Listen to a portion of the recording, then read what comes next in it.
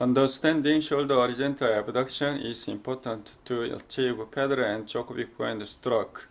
Shoulder horizontal abduction is the position here elbow is behind or on the shoulder to shoulder line.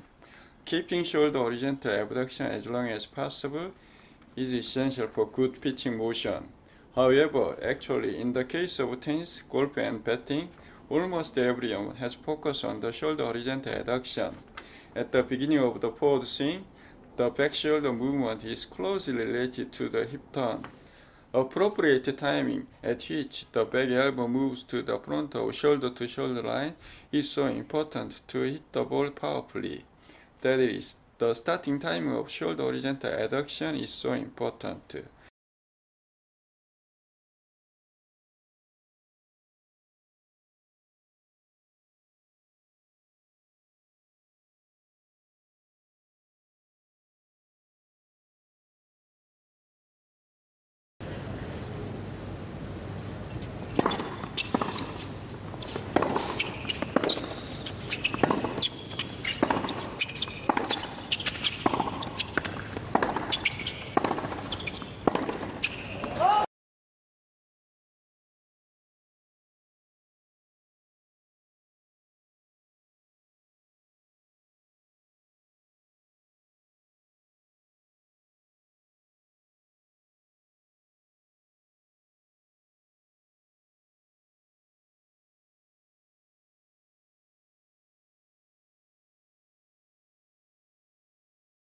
Dimitrov moved his back elbow to the front of shoulder to shoulder line a little bit after the beginning of the forward swing.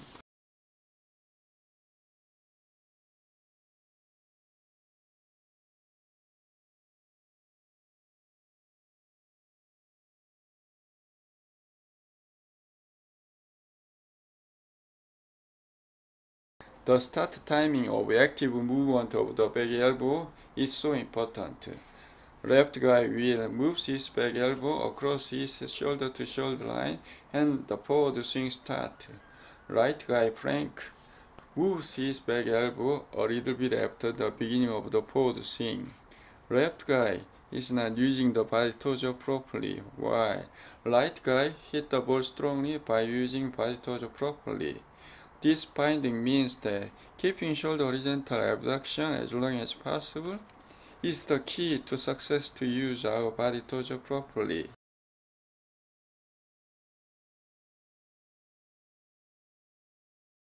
There is a big difference between two players' strokes. Let's look at the back elbow position relative to shoulder to shoulder line during the forward swing. Dimitrov back elbow moves to the front of the shoulder to shoulder line a little bit after the beginning of the forward swing, while Federer's back elbow moves along with shoulder to shoulder line until just before the ball contact.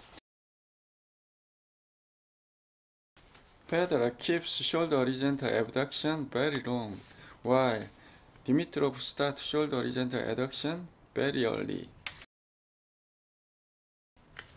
Let's look at how long his back elbow moves along with his shoulder to shoulder line.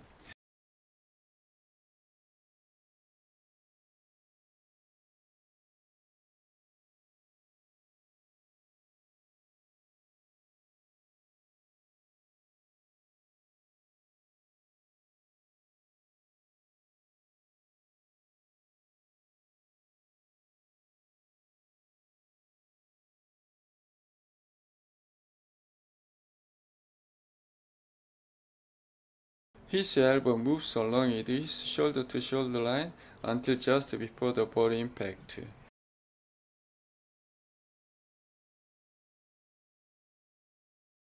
His arm, fixed to his upper body, moves along with his shoulder to shoulder line. To me, his arm and his upper body look like one mass during shoulder horizontal abduction.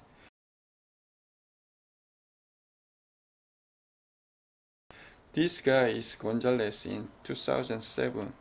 He shows dominant right shoulder arm movement.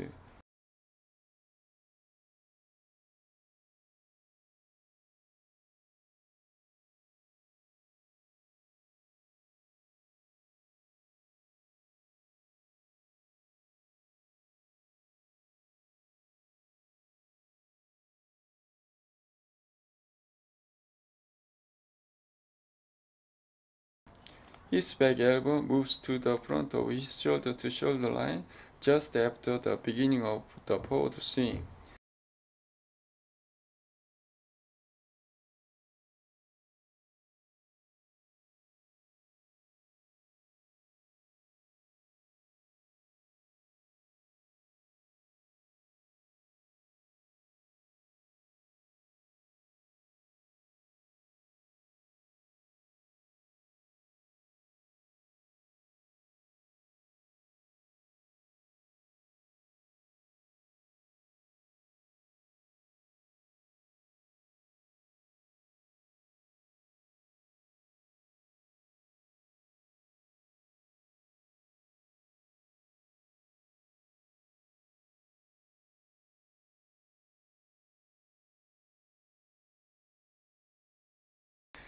Wawrinka shows similar swing to Gonzalez. Federer is different from the other World Pros players, but except Djokovic.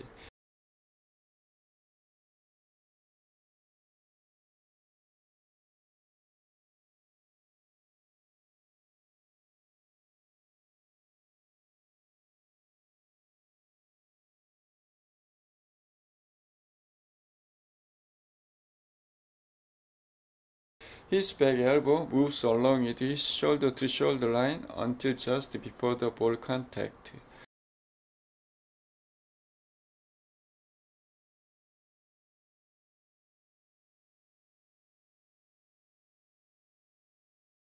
Dimitrov shows an intense shoulder movement, intense shoulder swing.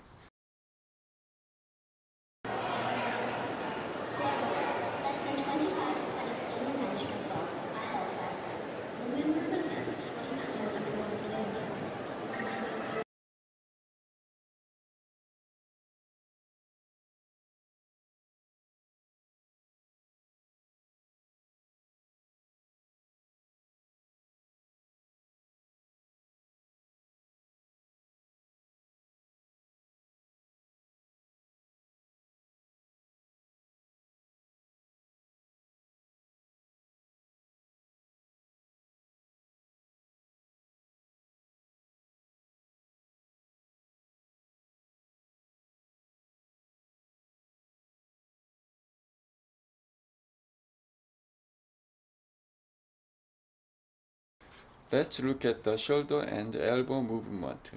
His swing is right arm um, dominant swing.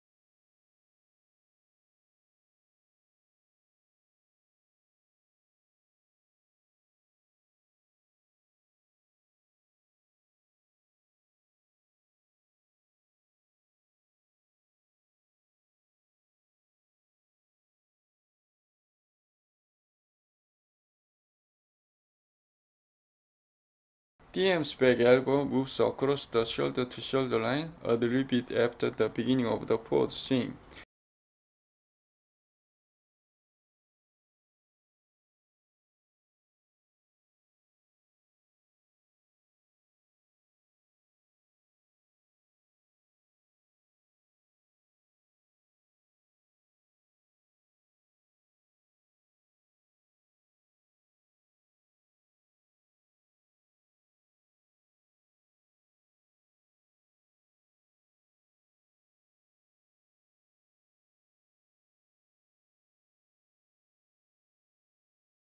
Djokovic shows great whole body rotation.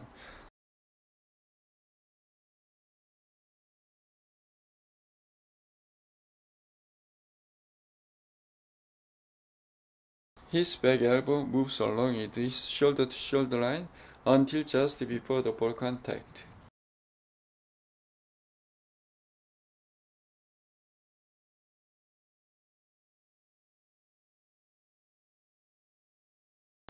His right arm and his upper body look like one mass during the forward swing.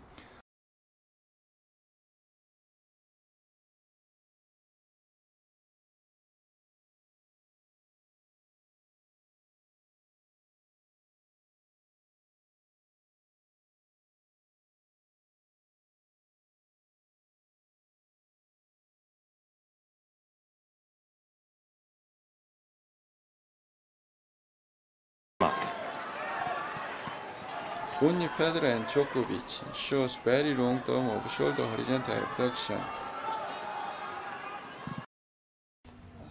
I have practiced forehand stroke, keeping shoulder horizontal abduction until the ball contact since May 22, 2020. This practice is very difficult because I have to suppress my instinction to hit the ball strongly. However, with this practice, I can do more rotate my whole body before the ball contact.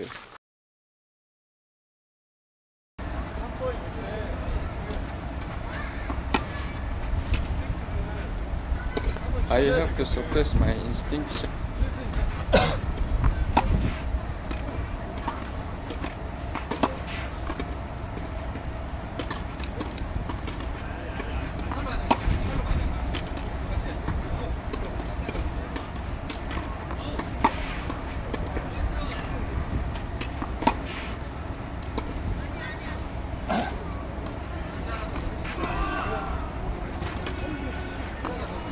guy. I think I could keep shoulder oriented abduction until the ball contact last hitting. Does it look like I said? Your motion doesn't seem to be flexible. Of course, I started this practice one day ago. For keeping shoulder horizontal abduction as long as possible, you have to you have to do swing as slowly as possible. Do to be more flexible. This is my limit.